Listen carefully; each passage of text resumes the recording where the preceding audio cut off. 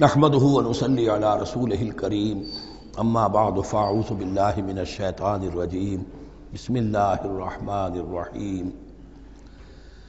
आयुहल्लज़ीन आमनु अनफ़िक़ू मिम्मा रज़क़नाकुम मिन क़ब्ल यातिया यौमुन ला बैउन फ़ीहि वला ख़ुल्लतुन वला शफ़ाअह वल काफ़िरून हुमुज़ ज़ालिमून अल्लाह इलाहा इल्ला हु अल हय्युल क़य्यूम ला तअख़ुज़ुहु सिनतुन वला नौम लहू मा फिस समावाति व मा फिल अर्द मन ज़ल्लज़ी यशफ़उ इंदहु इल्ला बिइज़्निहि यालमु मा बैन अयदीहिम व मा खल्फ़हुम वला युहीतून बिशैइन मिन इल्मिहि इल्ला बिमा शाअ वसिअ कुर्सियुहु समावाति वल अर्द वला यऊदुहु हिफ्ज़ुहुमा व हुवल अलियुल अज़ीम सदक़ल्लाहुल अज़ीम रब शरहली सदरी व यस्सिरली अमरी वहलुल उक़दतम मिन लिसानी यफ़क़हू क़ौली।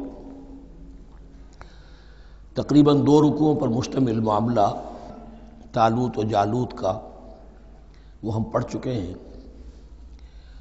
और ये गोया कि अब गजवा बद्र की लिए जहनी और नफसियाती तैयारी हो रही है। और गजवात के लिए जैसा कि मैंने अर्ज़ किया, जहाँ सरफरोशी की ज़रूरत है, वहाँ इन्फाक माल की भी ज़रूरत है। तो अब यहाँ बड़े ज़ोरदार अंदाज में फिर इन्फाक की तरफ़ तवज्जो दिलाई जा रही है। वही चार डोरियाँ जहन में रखिए। इन्फाक अल्लाह की राह में, यानी जिहाद बिल माल, कताल, जिहाद बिल नफ्स की आखिरी शक्ल, और शरीयत में इबादात और मामलात ये चार डोरियाँ गुथी हुई हैं इन बाईस रुकुओं के अंदर, जिन पर दूसरा निस्फ जो है सूरह बकरा का मुश्तमिल है। या युहल्लज़ीन आमनु,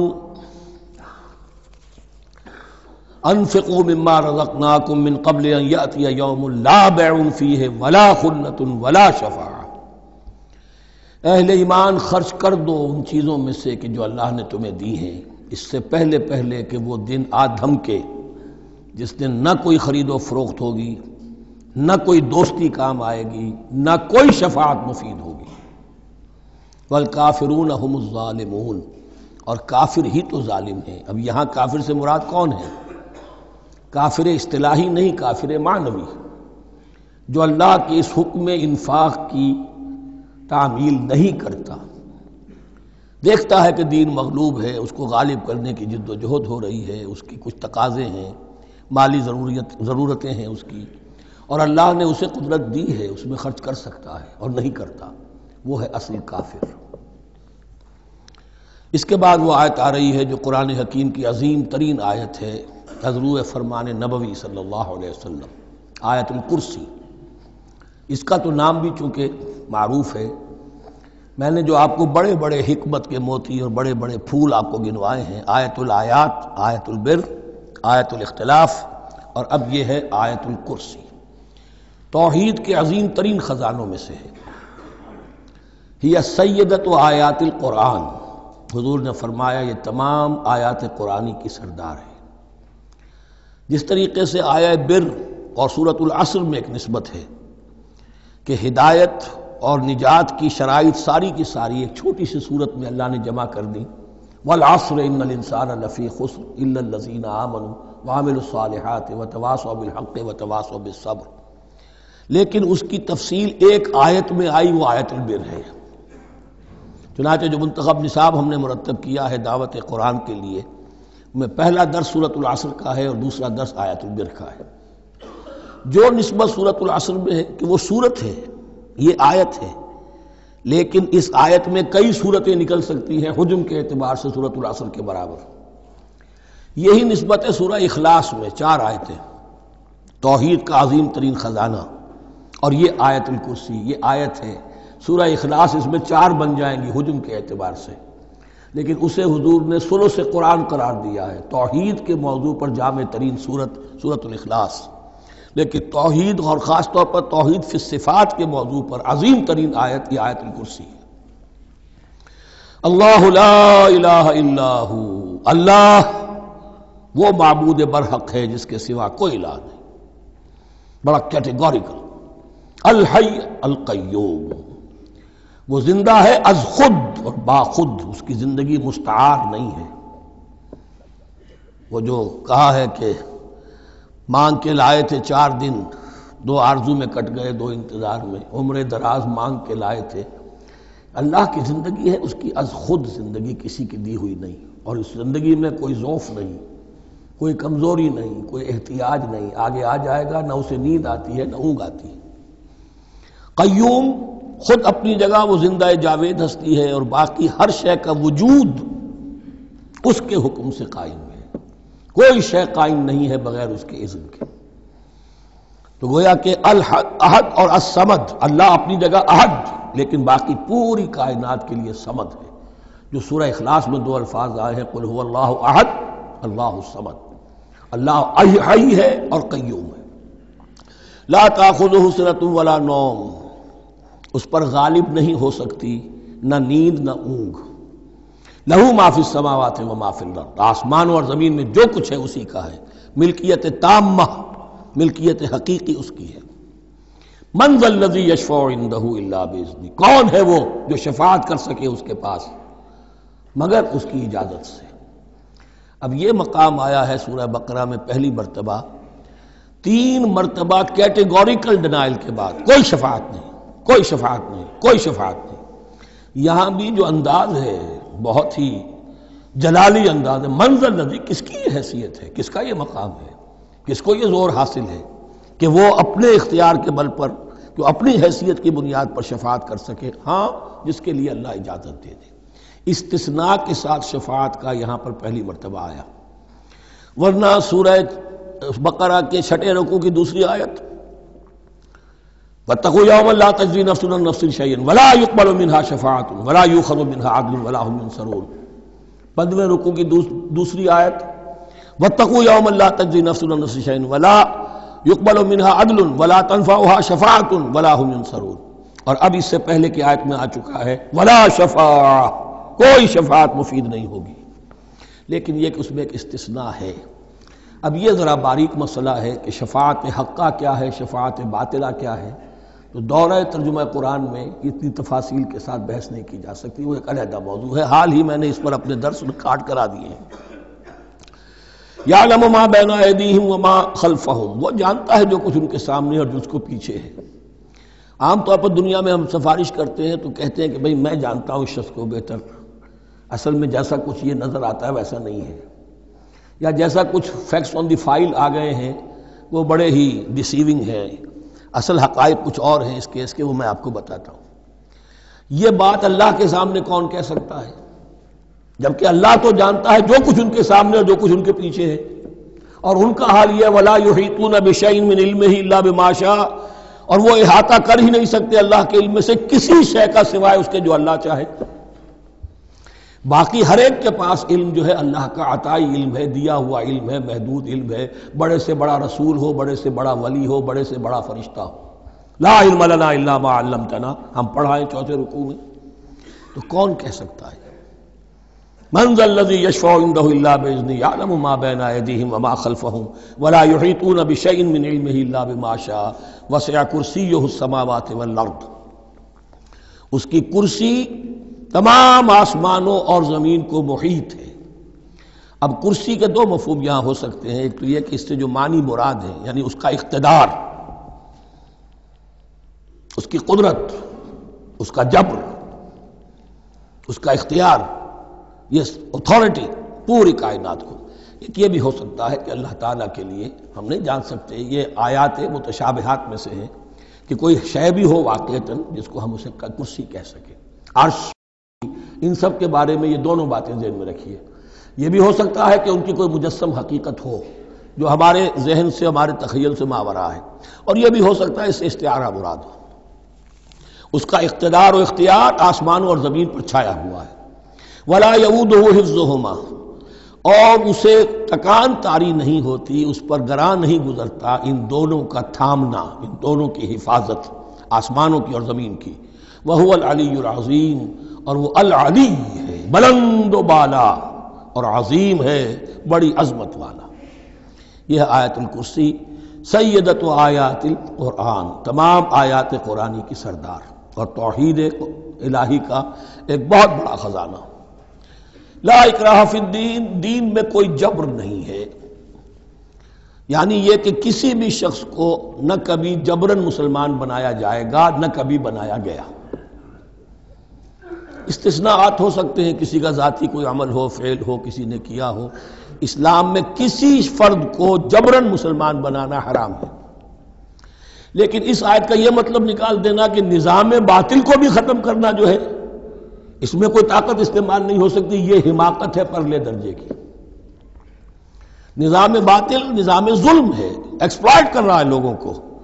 अल्लाह और बंदों के दरमियान हिजाब बन गया है, पर्दा बन गया है। निज़ाम को ताकत के साथ ख़त्म करना फ़र्ज़ है मुसलमान का। ताकत नहीं है तो ठीक है। ताकत हासिल करने की कोशिश करता रहे। लेकिन जो मुसलमान निज़ाम बातिल को ख़त्म करने की आर्जू और इरादे से खाली है, उसके दिल में यह इरादा नहीं है, उसके दिल में ईमान नहीं है। ताकत और जबर निज़ाम को ख़त्म करने पर सर्फ किया जाएगा, किसी फ़र्द को मजबूरन मुसलमान नहीं बनाया जाएगा। यह है असल में इस आयत का मफहूम। ला इकराफिद्दीन कद तबैन रुश्त मिनल गई रुश्त हिदायत वाज हो चुकी है कजी से। जितनी कजियाँ हैं, जितने गलत रास्ते हैं, जितनी शैतानी पगडंडियाँ हैं, उनसे जो सिरात मुस्तकीम है, उसको बिल्कुल मुबरहन कर दिया गया है। फमई यकफुर भी ताहूत तो जो कोई भी ताहूत का इनकार करेगा, देखिए, अल्लाह पर ईमान लाने से पहले ताहूत का इनकार ज़रूरी है। जैसे ला इल्लल्लाह। तो ताहूत और ताहूत कौन है? तगा से, सरकश। जिसने अपनी हाकमियत का ऐलान किया, वो ताहूत जिसने गैरुल्लाह की हाकमियत को तस्लीम किया, वो ताहूत उसके तहत बनने वाले सारे इंस्टीट्यूशन ताहूत जो भी इदारे हों, चाहे कितने ही खुशनुमा इदारे हों, है अदलिया। लेकिन वो अदलिया अल्लाह के कानून के मुताबिक फैसले नहीं कर रही। कुछ और लोगों के बनाए हुए कानून के मुताबिक फैसले कर रही, वो ताहूत है। जो भी अल्लाह के हदूद बंदगी से तजावुज करता है वो ताहूत है। तो यानी किसे कहते हैं? पानी दरिया की हदों में बह रहा है, लेकिन जब वो अपनी हदों से निकला तो यानी पे है। दरिया को अपनी मौज की तो यानियों से काम, कश्ती किसी के पार हो या दरमिया रहे, उसे इसकी क्या फ़िक्र है? तो तगा और बगा, ये दोनों बड़े करीब के अल्फाज बगावत और तो यानी। फमा यकफुर तागूत तागूत का इनकार जो कोई कुफर करे तागूत के साथ, वह यूम बिल्ला और फिर अल्लाह पर ईमान लाए। ताबूत से भी दोस्ती, अल्लाह पर भी ईमान। अल्लाह के दुश्मनों से भी याराना, और अल्लाह के साथ भी वफादारी का दावा। ये चीज़ नहीं चल सकती, यही मुनाफिकत है। यकसू हो जाओ, हनीफन मुस्लिमन। फ़कद इस्तम सकबिलवतिलवस्का जिस शख्स ने यह काम कर लिया ताबूत की नफ़ी और अल्लाह पर ईमान, उसने तो मज़बूत कुंडा थाम लिया।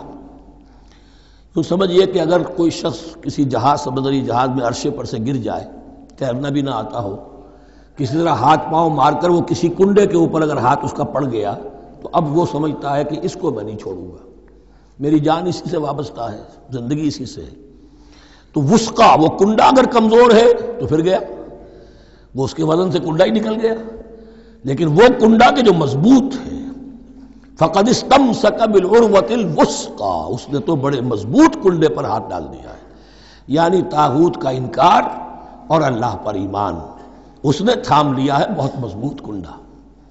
इसीलिए एक हदीस में आता है, औसकुल कल मतुतकवा ये जो उर्वा की जमा है और और उसका औसक जो है इसका मुजक्कर होगा।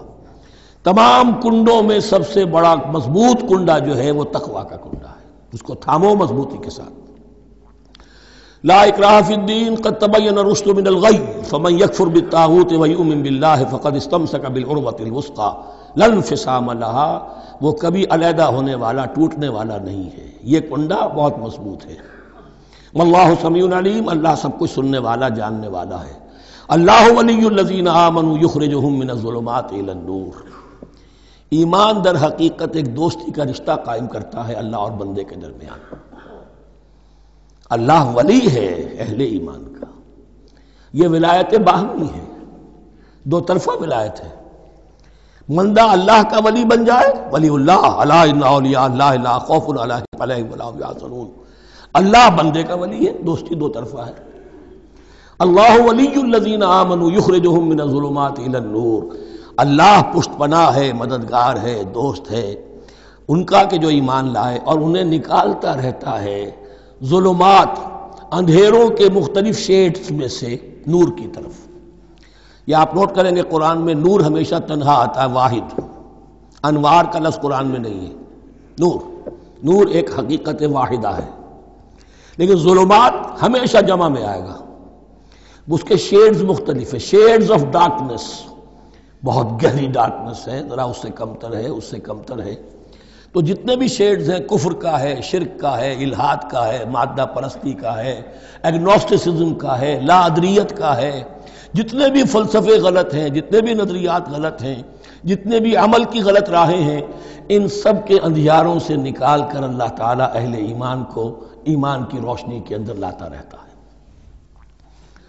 वल्लदीन कफरू और ताऊत इनके बरक्स जिन्होंने कुफर किया, उनके पुष्पना और साथी और मददगार हैं अब ताऊत युखरजू युखरजून मिन नूर और वो उनको निकालते रहते हैं तदरीजन और।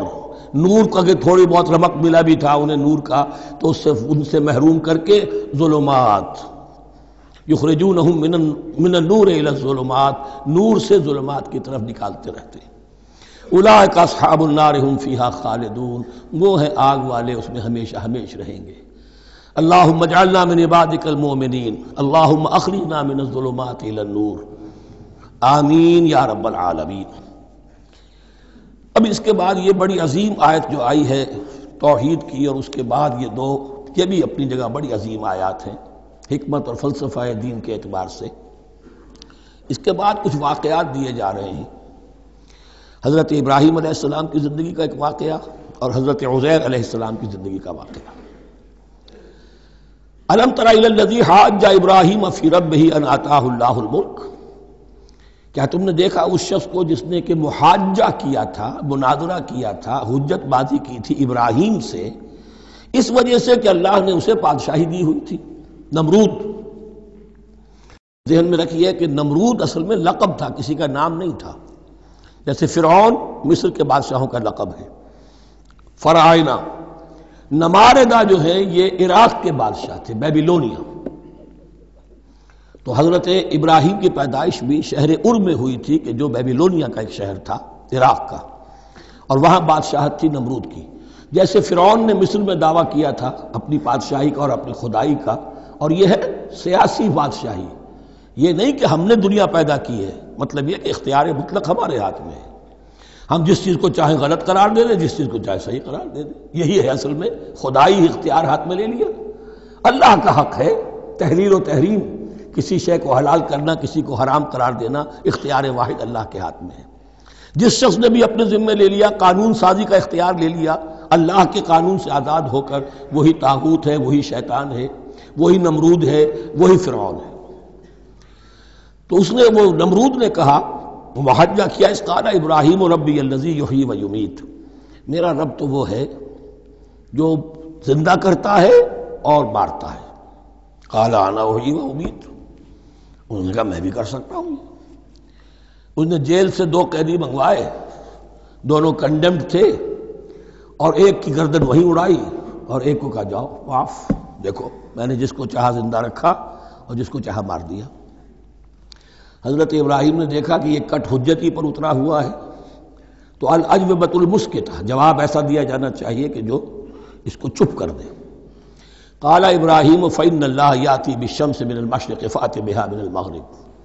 हज़रत इब्राहिम ने फरमाया, अल्लाह तो सूरज को निकालता है मशरक़ से, अगर तू खुदाई का मुद्दई है तो निकाल के दिखा इसे मगरब से।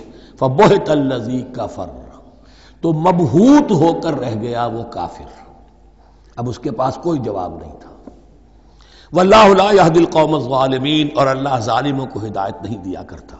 हिदायत तो नहीं हुई, चुप हो गया। लेकिन चुप क्या हुआ? उसके बाद तो फैसला हुआ कि इन्हें आग में झोंक दिया जाए। औकल लजी बर्रा अला करियतिन वही खावियतन अला या फिर उस शख्स के वाक़े को ज़रा याद करो, क्या तुमने नहीं देखा कि जिसका गुजर हुआ एक बस्ती पर, और वो ओंधी पड़ी हुई थी अपनी छतों पर। अगरचे मुख्तलिफ़ तफासिर में मुख्तलिफ़ आपको शायद इसकी ताबीरत मिले। ये असल में हुआ है कि जब नमरूद, जिसका नाम था बुख्त नसर, नेबू कैड नज़र इसने पाँच सौ छियासी कबल मसीह में, हज़रत मसीह से पाँच सौ छियासी कबल, उसने हमला किया फिलिस्तीन पर। देखिए, इराक और फिलिस्तीन की, इसराइल की और इराक की इस वक्त भी सबसे बड़ी दुश्मनी है आपस में। वही दुश्मनी जो है ढाई हज़ार साल पुरानी भी है। उसने वो नमरूद बाबुल नबुकडजर जिसका नाम था, उसने हमला किया। बारह लाख की आबादी थी, छह लाख को कत्ल किया और छह लाख को भेड़ों बकरियों की तरह हाँकता हुआ कैदी बनाकर ले गया। डेढ़ सौ बरस तक कैप्टिविटी में रहे हैं ये और यरूशलेम उजड़ा रहा है। कोई नफ्स नहीं, कोई मुतनफिस नहीं था, कोई इंसान नहीं। कोई दो ईंटें सलामत नहीं छोड़ी। उसी वक्त वो हैकल सुलेमानी जो है, वो शहीद किया गया। और इनके कहने के मुताबिक उसके एक तहखाने में वो ताबूत सकीना भी था, जहाँ रब्बाई इनके मौजूद थे। और वो रब्बाई भी वहीं पर उनकी मौत वाक़ हुई और ताबूत सकीना भी है, अगर उनका कौल सही है। तो जिस जमाने में ये उजड़ी हुई बस्ती थी, हज़रत उज़ैर अलैहिस्सलाम का गुजर हुआ, उन्होंने देखा कोई मुतनफिस नहीं। तो उन्होंने क्या कहा, काला अन्ना यही हाजहिल्ला बाद मोतहा अल्लाह इस बस्ती को इसके इस तरह मुर्दा और बर्बाद हो जाने के बाद कैसे ज़िंदा करेगा? अब इसमें कैसे एहया हो सकता है? दोबारा कैसे इसमें लोग आकर आबाद हो सकते हैं? इतनी बड़ी बर्बादी, इतनी तबाही, कोई मुतनफिस नहीं, कोई दो इंटे सलामत नहीं। फ़ामात तो अल्लाह ने उस पर मौत वारिद कर दी सौ बरस के लिए और फिर उन्हें उठाया। काला कम लबिस्ता। सवाल किया, कितने अरसे रहे हो यहाँ? हज़रत उज़ैर जो हैं, चूँकि जो रिनाइसेंस हुआ है तारीख़ बनी इसराइल में, उसके नकीब, उसके असल जो बुनियाद है वो ये है। इन्होंने फिर इसलाह की, जो जवाल उनमें आया था, अखलाक़ी और दीनी, फिर ये उठे कमर कसकर, जब अल्लाह ताला ने ये मुशाहदात करा दिए, और फिर जाकर वहाँ तबलीग की और दावत की दी, और वही उन यहूदियों के अंदर जो कैप्टिविटी में थे उन्हें फिर असल दीन की तालीम दी, रूह दीन को ज़िंदा किया तो गोया कि वहाँ से फिर उनका एहिया हुआ है।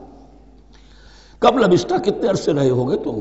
कारा लबिश तो यौमन और बाग जाओ अब उसको ऐसे महसूस हुआ जैसे सोया था थोड़ी देर के लिए, मैं एक दिन रहा हूँ, या दिन का कुछ हिस्सा?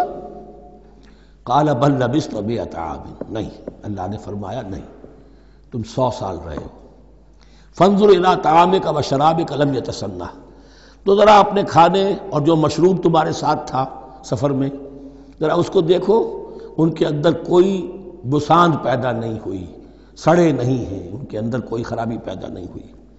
वंजुर बारे का आप दूसरी तरफ़ अपने गधे को देखो जो तुम्हारी सवारी का गधा था। वाला नजाल का आयतनास वो बिल्कुल ख़त्म हो चुका था, उसकी हड्डियाँ ही रह गई थी, गोश्त गल चुका था, कुछ नहीं था, सौ बरस। मंजुर का वली का आयतनास और हमें तो बनाना है तुझे एक निशानी लोगों के लिए। यानी खुद, ए उजैर, तुम्हें एक निशानी बनाना है।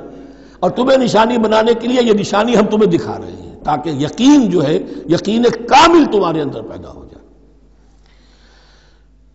वंजुर का वली नज का आयतना से वंजुर इल्ज़ाम अब देखो उन हड्डियों को, कैफा नुनशा कैसे हम उन्हें उठाते हैं, उभारते हैं। वो हड्डियाँ खुद उभरी और जुड़कर खड़ी हो गई। सुबह नकसूहा लहमा, फिर देखो तुम्हारी निगाहों के सामने इसको गोश्त पहनाते हैं।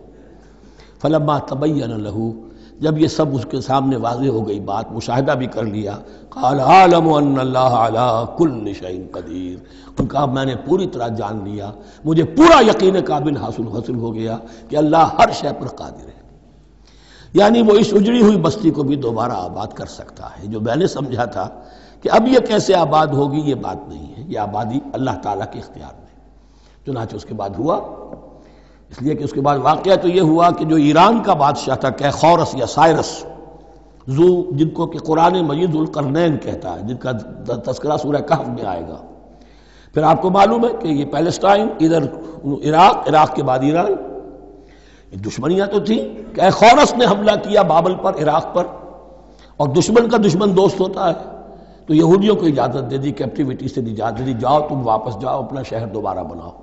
चुनाचे वो गए और फिर उन्होंने जाकर वहाँ पर 136 सालों में उनकी दोबारा जो है ये बस्ती बसी और फिर यरूशलेम को उन्होंने आबाद किया और फिर उन्होंने वहाँ हैकल सुलेमानी दोबारा बनाया, जिसको वो सेकंड टेंपल कहते हैं।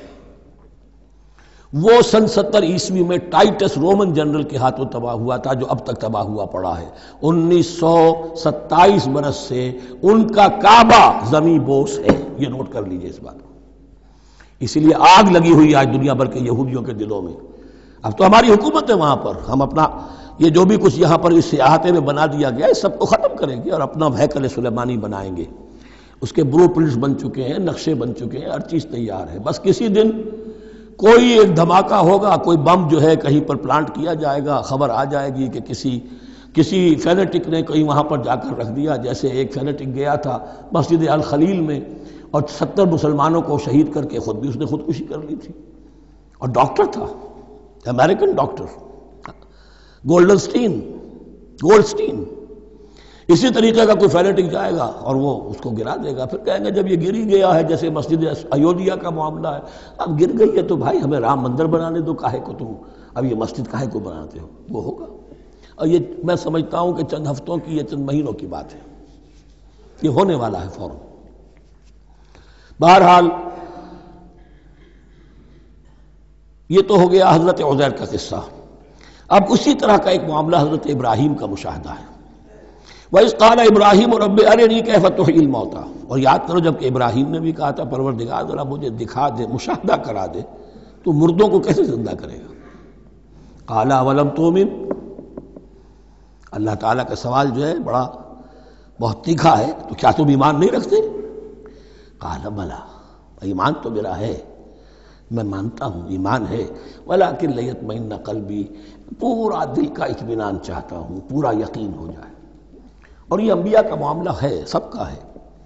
अम्बिया को चूँकि ईमान और यकीन का एक ऐसी फर्नेस बनाना होता है कि जिनसे ईमान और यकीन दूसरों में शरायत करे तो उनके ईमान और यकीन के लिए उन्हें मुशाहिदात ऐसे करा दिए जाते हैं कि फिर उनके लिए वो ईमान सिर्फ़ ईमान बिलगैब नहीं रहता, बल्कि वो ईमान बेशहूद भी हो जाता है। कजाल का नूरी इब्राहिम मलकूत समावत वर्द इसी तरह हमने दिखाए इब्राहिम को आसमान और ज़मीन के मलकूत जो भी हुक, हमारी हुकूमत है जो वो मख्फी हुकूमत है जो कॉस्मिक एक स्टेट है उसकी गवर्नमेंट है उसके तमाम अहलकार हैं फरिश्ते हैं हमने मुशाह कराया इब्राहिम को। हुजूर को इसीलिए शब बराज में ले जाया गया कि हर शय को अपनी आँखों से देख ले। तो वो यकीन कामिल फिर हो जाता है कि जिसमें किसी दर्जे में भी फिर तो ये है कि उनके वो खुद एक भट्टी बन जाते हैं ईमान और यकीन की। काला बला काला बला बला के लियत मई नकल भी काला फ़खुद अरबातम मिन तैर फसरक तो फरमाया अच्छा ठीक है, चार परिंदे ले लो, उन्हें अपने साथ मिला लो, हिला लो, कि वो तुम्हारे साथ तुम्हारी आवाज़ सुनकर आ जाया करें। सुमजान अलाकुल्ल जबल बिन जुजन फिर उनके टुकड़े करो और हर पहाड़ पर एक एक टुकड़ा रख दो। तो जो तफसीर में आती हैं ये, कि उनमें सबका सर अलहदा किए टांगे अलहदा की, पर अलहदा किए धड़ अलहदा किए एक पहाड़ पर चारों सर रख दिए, एक पहाड़ पर चारों के धड़ रख दिए, एक पहाड़ पर चारों के इस तरीके से मुख्तलिफ़ अजदा में तकसीम कर दिया। काला फ़खुद अरबात मिन तैर फसरहन सुमज अला सुमज कुल्ल जबल मिनहन जुसन फिर हर पहाड़ पर उनमें से एक एक हिस्सा रख दो। सुमद हन्ना फिर उनको ज़रा पुकारो। वही सीटी बजाओ जो तुम बुला, बजाते थे उनको बुलाने के लिए। यातीन, सुम्मत यातीन का साया, वो दौड़ते हुए आ जाएँगे। वालम हकीम। और जान लो इस बात को यकीन के साथ कि अल्लाह ताला ज़बरदस्त है कमाल हमत वाला। अब दो रुकू आ रहे हैं, इन्फाक फ़ी सबील्ला पर। और ये कुरान मजीद का ज़रवा सनाम है, इन्फाक के मौजू पर। लेकिन इनको पढ़ने से पहले नोट कर लीजिए कि अल्लाह की रजा जोई के लिए अपना माल खर्च करना जो है, इसके लिए दीन में कई असलाहत हैं। खाना खिलाना युतमून ताम आलाहुब ही मिसकीन व यतीमन वासीरा आतल माल आलाहुब ही जबिल क़ुरबा वलियतामा ईताए माल। एता फिर उससे आगे आता है सदका, ज़क़़त, इन्फाक, कर्ज हसना। ये पाँच, छह टर्म्स हैं। लेकिन इन टर्म्स के अंदर एक तकसीम देन में रखिए कि दो मद्दे हैं बड़ी बड़ी अल्लाह ताला की रजाजोई के लिए माल खर्च करने की। एक मद है गोरबा यतामा, मसाकिन, मोहताज, बेवाएँ, इनके लिए। यानी अबनाए नौ में से। ये आपके माशरे के अज्जा हैं, आपके भाई बंद हैं, आपके रिश्तेदार हैं, आपके अज्जा वक्रबा हैं, उनके लिए खर्च करना। तो ये भी अल्लाह को बहुत पसंद है, इसका वाजिब मिलेगा ये भी गोया कि अल्लाह ताला ही के लिए आपने खर्च किया। एक अल्लाह के दीन के लिए खर्च करना इन्फाक का लफ्ज इसके लिए है। और कर्ज हसना इसके लिए इन्फाक इन्फाक के माल, इन्फाक फ़ी सबील अल्लाह की राह में खर्च करना, अल्लाह के दीन की दावत को आम करना, अल्लाह की किताब के पैगाम को आम करना, अल्लाह के दीन की दावत को उस तरह उभारना कि बातिल के साथ ज़ोर आजमाई करने वाली एक ताकत पैदा हो जाए, एक जमात वजूद में आए। उनके लिए असाद सामान फराहम किए करना, ताकि दीन के गलबे की हर मरहले के जो तकाजे और ज़रूरतें हैं वो पूरी हो सके। तो जो इस काम में सर्फ होगा, वो है इन्फाक फ़ी सबील या अल्लाह के ज़िम्मे कर्ज हसना। तो यहाँ असल में उसकी बात हो रही है इन्फाक की। मसलजीन यूनफ़िकून अमवाल फ़ी सबील है मिसाल उनकी जो अपने माल खर्च करते हैं अल्लाह की राह में। आमतौर पर यह फ़ी सबील जो है, वो सबील पानी की बना दी, वो भी सबील है। ठीक है, वो भी सबील तो है। नेकी का वो भी रास्ता है सबील है। लेकिन यह कि फ़ी सबील खर्च जो है, उसका बिल्कुल मफहूम और है। वो सदका है, खैरात है। ज़क़़त भी असलन जो है, वो गरीबों का हक है। लेकिन उसमें भी एक मत सबील की रखी हुई है। अगर तो आपके करीब अज्जा वकारिब हैं, गुरबा है तो उनका हक फाइक है, पहले उनको दीजिए। वरना फिर यह है कि उसमें से जो भी है वो दीन के काम के लिए। जब दीन यतीमी की हालत को आ गया हो तो सबसे बड़ा यतीम तो दीन है। आज की आज के वक्त सबसे बड़ा यतीम दीन है। बहरहाल, फ़ी सबील इन्फाक। मिसाल उनकी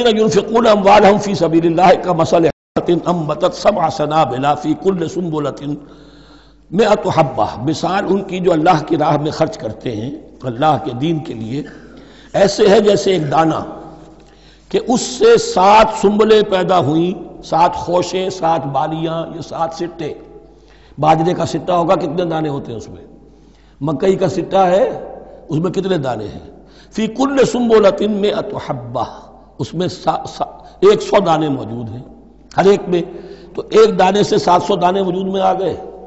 इसी तरीके से अल्लाह ताला जो भी उसके दीन के लिए माल खर्च करेगा, उसके माल में इजाफा करेगा, अल्लाह ताला उनको जजा देगा और उसको बढ़ाता रहेगा अपने हम बन यशा। और ये तो तुम्हें तमसीलन बताया है, अल्लाह इससे भी दुगना करेगा जिसको चाहेगा।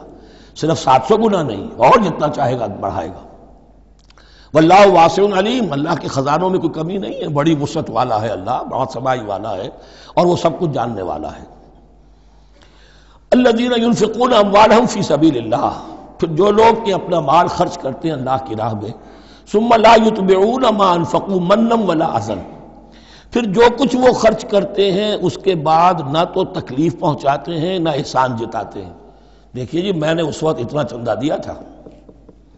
मालूम हुआ कि मेरा हक जो है वो ज़्यादा है, फिर मेरी बात मानी जानी चाहिए। हम चंदे ज़्यादा देते हैं तो रात में बात भी तो हमारी चलनी चाहिए। या अगर किसी जो कारकुन को दिया है जो अल्लाह के दीन के लिए काम कर रहा है ये भी इन, दो रुकुओं के आखिर में बात वाज हो जाएगी। कोई शख्स अल्लाह के दीन के काम में लगा हुआ आप उसको साथ ताउन कर रहे हैं ताकि वो अपनी माश के ऊपर अपना वक्त ना लगाए अपना पूरा वक्त जो है वो दीन की खिदमत में लगाए। लेकिन अब अगर कहीं आपने उसको जिता भी दिया उस पर एहसान भी रख दिया कोई तकलीफ़ दे कलमा कह दिया तो जो आपका अजर सवाब था वो ज़ीरो हो जाएगा। अल्लाजीन यूनफ़िकून अम्वालहम फ़ी सबील मानफ़ू मन्नम वला अजन। जो इन्फाक करते हैं, उसके बाद उसके पीछे न तो जितलाते हैं, न कोई और तकलीफ़ पहुँचाते हैं। लहुम अजरहम इंदा रबिम वला खौफ वलाम यासनून उनका अजर उनके रब के पास महफूज है। और उनके लिए मगफरत है। वला खौफ़ुलमलाम याजरून उनके ऊपर ना कोई खौफ होगा और ना कोई उनके हुजन से दो चार होंगे। कौलम मारूफ। भली बात कहना व मगफरा और दरगुजर करना खैर बेहतर है मिन सदाकतिन। उस खैरात से यतमाहा अज़ा, जिसके बाद के अजियत पहुंचाई जाए। कोई आपसे फ़र्ज़ कीजिए, कोई ज़रूरत के लिए आई गया है, किसी ने हाथ फैला दिया है तो आप, अगर आप नहीं कर सकते मदद कौल मारूफ, नरमी के साथ जवाब दे दीजिए माजरत कर लीजिए। या यह है कि अगर किसी साइल ने आपके साथ दुरुस्ती की है तो फिर भी ये डांटिए नहीं। वह मसाइल फला तनहर। फिर भी यह है कि मगफरत माफ़ कीजिए। यह कहीं बेहतर है इससे कि दे तो दिया। खैर मिन सदाकतिन यतबा अजा। उसके बाद उसे दो चार जुमले भी सुनवा दिए। कोई और सलवाते भी सुना दी उसे तो इसका कोई फ़ायदा नहीं हुआ। वल्लाह गनी हलीम। अल्लाह ताला गनी है और हलीम है। ये क्यों कहा गया कि तुम अगर किसी को दे रहे हो तो असल में अल्लाह को दे रहे हो। एक हदीस में आता है कि अल्लाह ताला अपने बंदे से शिकायत करेगा मेरे बंदे, तेरे पास माल था, मैंने तुझसे माल तलब किया था, मैं भूखा था, मैंने तुझसे रोटी मांगी। तूने मुझे खिलाया नहीं। बंदा कहा, अल्लाह, तू गनी है, तुझे भूख, तुझे एहतियाज कि वो जो मेरा बंदा था, जो भूखा था, उसने जो मांगा था तुझसे, वो मैं ही था असल मेरा बंदा था अलखल को आयाल्लाह तुझसे उन्हें खाने को नहीं दिया तुझे तो गोया कि मुझे नहीं दिया। ऐ मेरे बंदे, मैं नंगा था, मैंने तुझसे मैं चाहा कि मेरा सत्र ढांप दे, मुझे कोई लिबास दे दे, लेकिन यह कि तूने नहीं दिया, ये इसी तरीके से। तो समझ लीजिए कि अल्लाह तो गनी है जो दे रहे हो, समझ लो कि अल्लाह को दे रहे हो। और हलीम है, वो हिल्म वाला है, फ़ौरन नहीं पकड़ता तुम्हें। तुम जो भी करते हो, जो दिल से उतरी हुई शय वो अल्लाह के नाम पे दे दो। जो रद्दी चीज़ है, वो अल्लाह के नाम पे दे दो। तो अल्लाह ताला की गैरत जो है, उसी वक्त अगर जोश में आ जाए और तुम्हें पीस के सुरमा कर दे वो तो वो कर सकता है। लेकिन नहीं हलीम है। वो देखता है कि मेरी तोहिन कर रहा है, मुझे दे रहा है और ये दे रहा है। सदक़ात अहल ईमान, अपने सदक़ात को बातिल न कर लो। नसिया मनसिया हो जाते हैं। बिलमन वल अज़ा। जितला कर और कोई अजियत बख्श बात कहकर। कल लजी यूनफ़िक मालूरनास उन लोगों की तरह, उस शख्स की तरह, जो अपना माल खर्च करता है लोगों को दिखाने के लिए। दे तो रहा है सदकात चैरिटी हाउस बड़े बड़े इदारे कायम कर दिए हैं ये कि सब रियाकारी है। कोई सरकार दरबार में रसाई के लिए फाउंडेशंस बने हुए कुछ अपने वो टैक्स बचाने के लिए, कुछ और अपनी नामवरी, क्योंकि फिर इलेक्शन भी लड़ना है। ये सारे काम जो होते हैं, अल्लाह जानता है किसकी क्या नीयत है। ला तुम चलू सदक़ात को मिलमन वल अज़ा कल लजी यूमिन बिल्लाह वल आखिर। जो रियाकारी कर रहा है, वो हकीकत में ईमान नहीं रखता अल्लाह पर और योम आखिर पर। ये रिया और ये ईमान एक दूसरे की जिद है।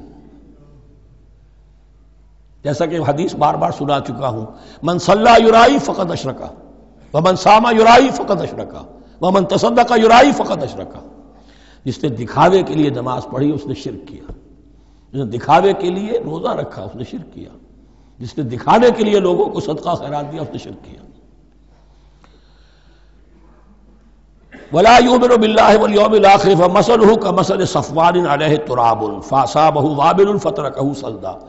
तो उसकी मिसाल उस चट्टान की सी है इस पर कुछ थोड़ा सा गुबार, कुछ रेत जम गई थी। तो अगर किसी चट्टान के ऊपर कुछ थोड़ी सी तह आ गई हो मिट्टी की, वहाँ आपने कोई बीज डाल दिए कोई फ़सल भी हो गई। फासाबहू वाबिल अब आया जोरदार एक बारिश का। छींटा पड़ा, जोरदार जोरदार मुँह पड़ा बारिश भी पड़ा। फतर कहू सलदा। वो सारी ऊपर की थोड़ी सी तय थी। वो मिट्टी भी बह गई और आपकी मेहनत भी गई, वो आपका बीज भी गया और आपकी फ़सल भी गई। वो चटान जो है, चटियल चटान वो अंदर से निकल आई। यानी सब कुछ गया। रियाकारी में इसका मतलब यह है, माल भी दिया और हासिल कुछ ना हुआ। बीज भी गया। और अल्लाह के यहाँ किसी अजर सवाब का सवाल ही नहीं। ला यकदरून आला शई मम्मा कसबू। जो मेहनत उन्होंने की थी, उस थोड़ी सी मिट्टी जो जम गई थी, उसमें भी कुछ हल चलाया था, कुछ बीज डाला था, अब उसमें कोई कुदरत उन्हें हासिल नहीं है, सब कुछ गया। वल्लादिल कौमल काफरीन, और अल्लाह ऐसे काफिरों को हिदायत नहीं देता, राह याब नहीं करता। वह मसलजीन मरदात इसके बरक्स वो लोग वही साइमल्टेनियस कंट्रास्ट जब एक रियाकारी के खर्च के लिए वो एक मिसाल दी गई, तमसील और तशबी दी गई। तो अब जो वाक़ता अल्लाह ताला के अजर सवाब के लिए, खलूस अखलास के साथ खर्च करता है, उसके लिए भी मिसाल। व मसलनज़ीर इब्तगा और मिसाल उन लोगों की जो खर्च करते हैं अपने माल अल्लाह की रजा जोई के लिए, खुशी हासिल करने के लिए। वह तस्बी मिन अनफुसहिम और अपने अज़म की पुख्तगी के साथ, अपने नफ्स की पुख्तगी के साथ। कमसल जन्नतिन। उनकी मिसाल उस बाग की है बेरबवतिन जो जरा बुलंदी पर है, बाग है। जैसा कि मैंने अर्ज़ किया, नेचुरल बाग का यही तस्वुर होता था, जरा ऊंचाई पर जो है प्लांटेशन है नदी बह रही है कोई दामन में, जिससे खुद ब खुद उसको इरिगेशन हो रही है। कबा सारे जन्नतिन बेरबवतिन यहीं से ये कादियानियों ने लफ्ज रबवा लेकर और अपना वो शहर बनाया है पाकिस्तान में। असाबहा वाबिल अब अगर इस बाग के ऊपर जोरदार मुँह आ जाए भी आ जाए, खूब बारिश बरसे फ़ातत को कुलहा जेफैन तो उसका फल जो है दुगना हो जाएगा। फ़ैलम युसिबा वाबिल फ़तल, और अगर जोरदार मीह ना आए, बारिश न बरसे तो थोड़ा बहुत छीटा भी पड़ेगा तब भी, उसका तो बहरहाल फल जो है वो बरकरार रहेगा। वल्लाह बिमा तामलून बसीर, और जो कुछ तुम कर रहे हो, अल्लाह ताला उसको देख रहा है। दरू भी नहीं करते रहा करो कि तुम ये बाल जो खर्च कर रहे हो वाक़ता खलूस दिल के साथ अखलास नीयत के साथ अल्लाह ही के लिए कर रहे हो, कहीं इसमें कोई और जज्बा, कहीं तुम्हारा गैर शौरी तौर पर कोई जज्बा शामिल ना हो जाए। तो इंट्रोस्पेक्शन हो, अपने गरीबानों में झांकते रहो। अयबद अहदकुमन तकून लहू तजरीमिन तातिल क्या तुम में से कोई शख्स पसंद करेगा कि उसका एक बाग हो? और खजूर का दरख्त, के दरख्त हो उसमें, और अंगूर की बेलें भी हो, और उसके दामन में नदियाँ बहती हो। नेचुरल इरीगेशन भी है, खजूर के दरख्त भी है, और बेलों की टट्टियाँ लगी हुई हैं अंगूरों की, और अंगूरों की बेलें हैं। लहू फिया बिल्कुल सबरात उसके लिए उस बाग में हर तरह का मेवा है। फासा बहुल केबर। अब उस पर बुढ़ापा भी तारी हो गया है। वलहू ज़ुर्रियतुलफ़ा और उसकी औलाद है अभी छोटी उम्र की, कम सिन है, कमज़ोर है। फासाबा एसार उनके अचानक उस बाग के ऊपर एक ऐसा बगूला, एक ऐसी आंधी आई जिसमें आग है। फ़ी है नारुन, कोई ऐसा आग भरी आंधी आई। फासाबा एसारुन फ़ी है नारुन फाह तरकत पूरा का पूरा बाग जल कर चुलस कर रह गया। कज़ाल का युबैनबाहलकुम तफक्रून इस तरह अल्लाह ताला तुम्हारे लिए अपनी आयात को वाजे करता है ताकि तुम तफक्र करो। यानी एक इंसान ने सारी उम्र समझा है कि बड़ी मेरे नेकी कमाई है, मैंने ये किया है, मैंने फाउंडेशन बनाया, मैंने मदरसा कायम कर दिया, मैंने यतीम खाना बना दिया। लेकिन यह कि अचानक किसी वक्त मानो आँख खुलेगी। जब आँख खुली गुल की तो मौसम था ख़जा का। मालूम होगा ये तो कुछ भी नहीं था। ये तो गोया कि एक बगोला आया, सबको जला गया। इसलिए कि उसमें इखलास था ही नहीं। उसमें नीयत जो है, उसमें खोट था, उसमें रियाकारी थी। उसमें लोगों को दिखाना मकसूद था। फिर हाल वही होगा, जिस तरह के वो बूढ़ा, अब कफे अफसोस मिल रहा अब क्या करे? बूढ़ा हो चुका है, दोबारा तो बाग लगा नहीं सकता। लिहाजा जब वो मौत आ जाएगी तो गोया कि अब उसके लिए मौका नहीं है कि दोबारा कोई काम और कर सके।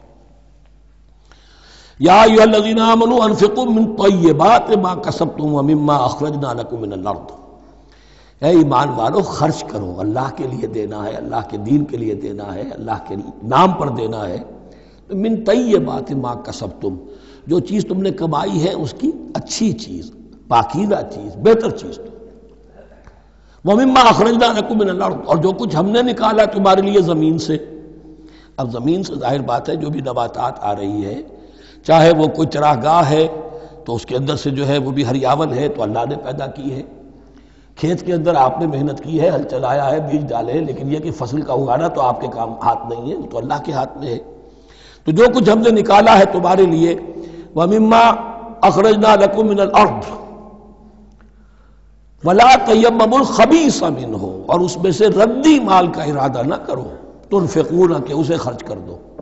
सकात देनी है, उशर देना है। तो जो जल्दी चीज़ें हैं, अब भेड़ों बकरियों का गल्ला है, उनमें से इतनी बकरियाँ निकालनी है, इतनी भेड़ें हैं।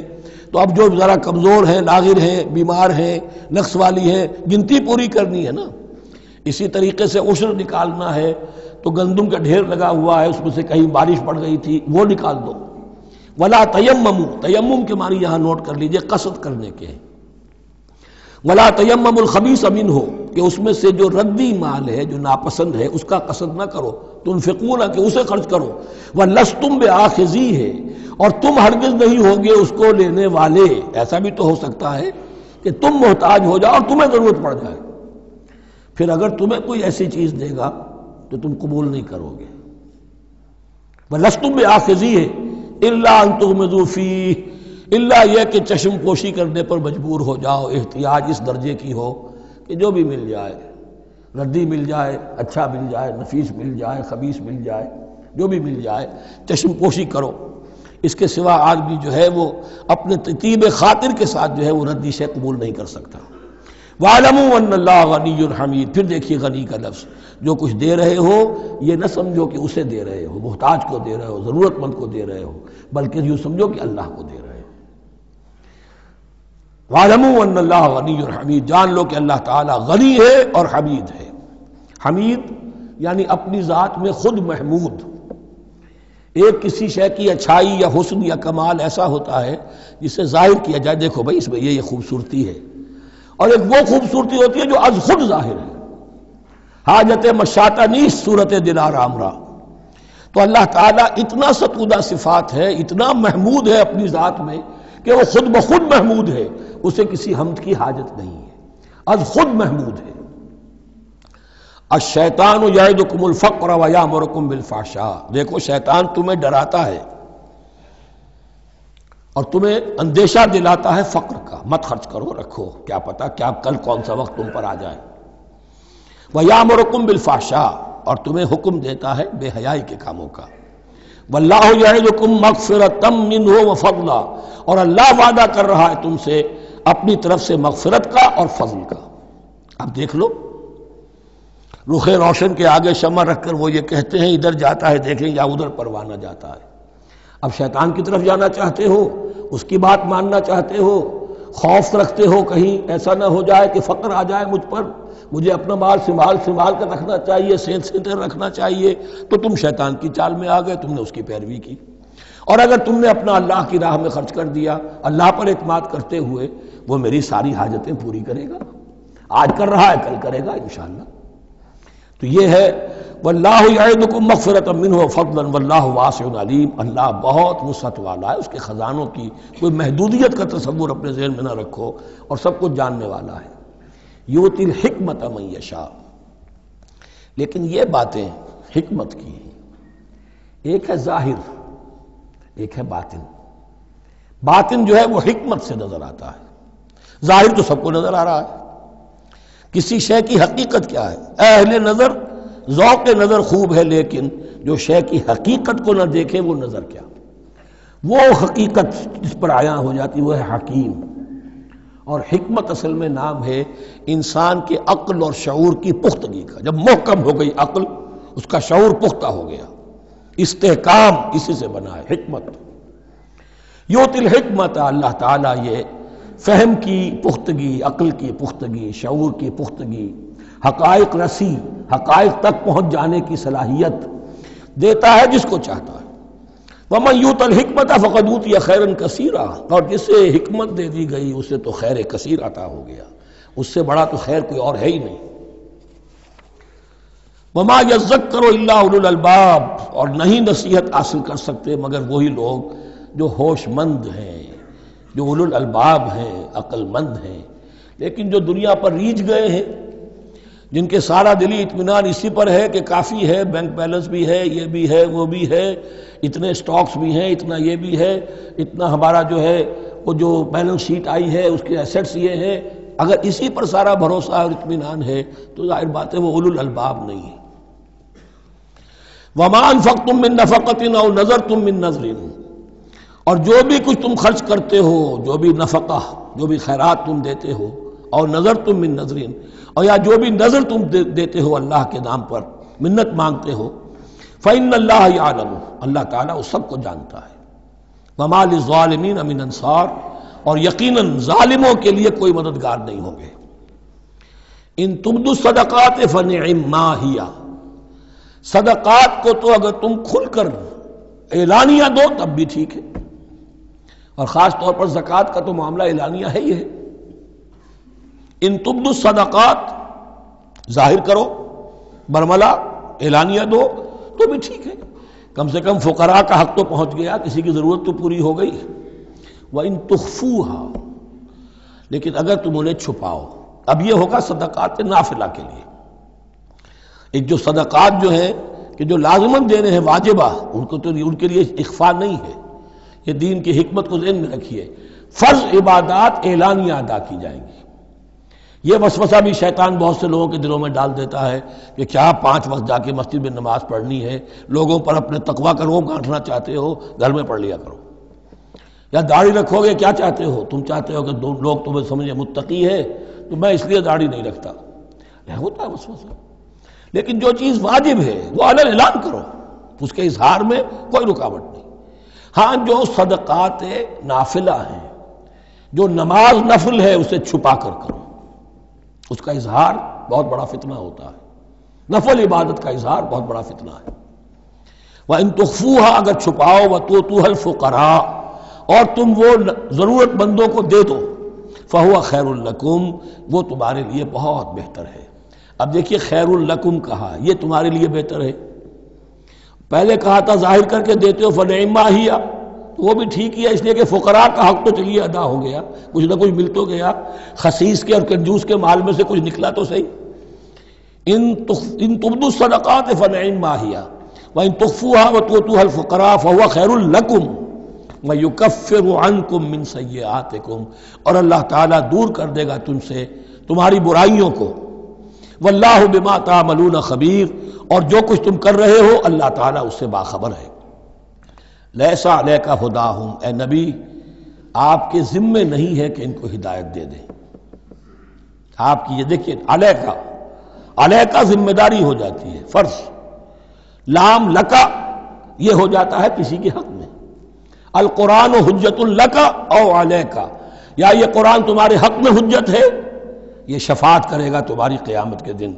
अगर तुमने इसे माना, जैसे कि मानने का हक है, पढ़ा, जैसे कि पढ़ने का हक है, अमल किया, जैसे कि अमल करने का हक है, फिर इसकी दावत व तबलीग की, जैसे कि उसका हक है तो ये तुम्हारे हक में हजत होगा। और अगर तुमने उसके हकूक अदा न किए, ये तुम्हारे खिलाफ मुद्दा ही बनकर खड़ा हो जाएगा। अल कुरान हजतुल्लका और का ये तुम पर आएगा बबाल अल्लाह ये बदबक मुझे मानता था कि मैं तेरा कलाम हूँ, पढ़ता नहीं था मुझे। पढ़ता था तो जैसे किसी तोता मैना को जो महाराना माहिर काजी की नज़म है कुछ बोल सिखाए जाते हैं, रटाए जाते हैं, इस तरह पढ़ाया जाता हूँ और इस तरह सिखाया जाता हूँ, वो इस तरीके से पढ़ रहे हैं, कुछ पता नहीं। एक दो रुपए का अखबार लाएँगे तो समझ कर पढ़ेंगे, अल्लाह की किताब को समझ के पढ़ने की ज़रूरत नहीं। पढ़ा तो अमल नहीं किया बदबक ने। माँ मना बिलकुरान मनिस्टल्ला महारे महू तो लाम और आला का ये इस्तेमाल जहन में रखिए। लैसा अलह का हुदा हूँ। आप पे ज़िम्मेदारी नहीं है उनकी हिदायत की। आप पर ज़िम्मेदारी तबलीग। हमने भेजा है आपको, इन्ना अरसल्ला का बिलहक बशीर व नजीरा। वला तुसबिल जहीम। ये आयत हम पढ़ चुके हैं पहले हिस्से में। वला किन अल्लाह शाह वो तो अल्लाह ताला हिदायत देता है जिसको चाहता है। वमा तुम मिन खैर फ़ल अनफुसकुम। और जो भी खैर, जो भी भलाई, जो भी माल तुम खर्च करोगे, वो तुम्हारे अपने लिए बेहतर है। तुम्हें अजर सवाब मिलेगा, तुम्ही को मिल जाएगा, सात सौ गुना, चौदह सौ गुना। वमा तुम फ़िकून इल्तगा वजिल्ला यहाँ ये फेल मुजारे आया है, नफी, नहीं के मफहूम में। लातुन फ़िकून मातुन फ़िकून यानी तुम नहीं खर्च करोगे मगर अल्लाह की रजा के लिए। तब अजर मिलेगा? अगर रियाकाराना खर्च किया था तो कोई अजर का क्या सवाल? वो तो शिरक बन जाएगा। वबातुल्फ़िकूनतगा वजहिल्ला खैरिन युफ़ाकुम और जो भी खैर तुम खर्च करोगे, खैर में से जो भी दौलत खर्च करोगे युफ़ाकुम पूरे पूरा तुम्हें लौटा दिया जाएगा। वन तुम लातुलमून और तुम पर कोई जुल्म नहीं होगा, तुम्हारी कोई हक तलफी नहीं होगी। अब आया है आखिरी टीप का बंद। इन्फाक फ़ी सभी का सबसे बढ़कर हकदार कौन है?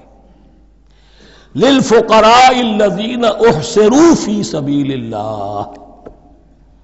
वो ज़रूरतमंद के जो घिर कर रह गए अल्लाह की राह में, जैसे असाब सुफ़ा थे बैठे हुए कोई काम नहीं कर रहे, हुजूर से इल्म सीख रहे हैं। और जहाँ जहाँ से दावत आ रही है कि हुजूर भेजिए, हमारे यहाँ कोई मुबलगीन वहाँ से उनको भेजा जा रहा है।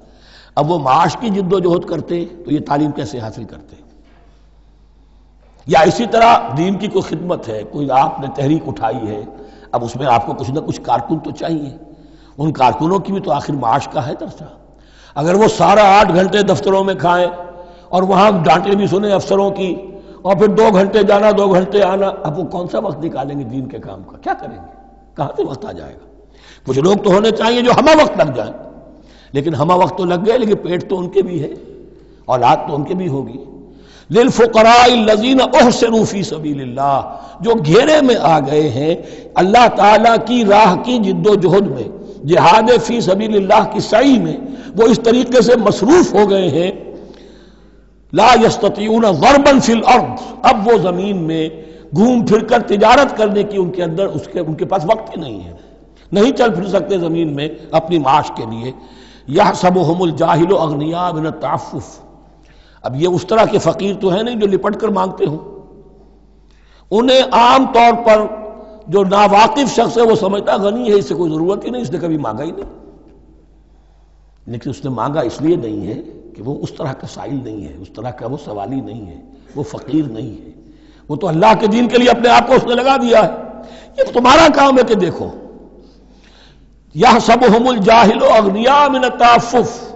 वो जो मांगने से रुक रहे हैं अपनी इज़्ज़त नफ्स की हिफाजत की खातिर, उसकी वजह से नावाकिफ आदमी समझते हैं कि तो गनी है, इसे कोई ज़रूरत नहीं है। तारफ़ुम बे सीमा हूँ तुम पहचान लोगे उन्हें उनके चेहरों से। ज़ाहिर बात है कि फ़क्र का, एहतियाज का असर चेहरे पर तो आ जाता है। अगर आपको न्यूट्रिशन सही नहीं मिल रही है तो बाहर ज़ाहिर बात है, चेहरे पर उसका असर होगा। तासब